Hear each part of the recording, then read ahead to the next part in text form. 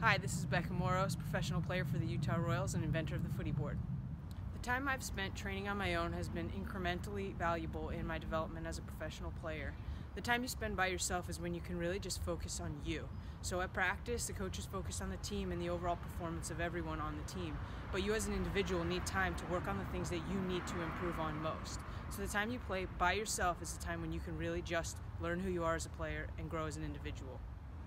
In the wall work session I've provided, the focus is on nuance, little subtle things you can do with your hips, you can do with your body to elude a defender without having to take an extra touch. Touches take time, and so opening up your hips can throw a defender the wrong way and give you time and space and an opportunity to beat them with the speed of your movements. So in this session, focus on the little details of how you open up, which surface of the foot you use, and the way you turn your head as you're taking a touch.